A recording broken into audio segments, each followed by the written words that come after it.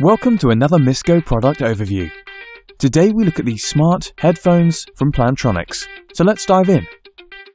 First thing we noted is the comfortable ergonomic design, which allows for a complete audio experience.